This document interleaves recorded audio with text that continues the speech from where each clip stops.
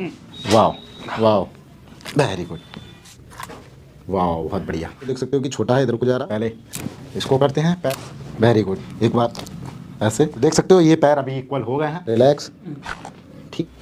Very good कोई vertebra है तो उसको भी एडजस्ट करेंगे।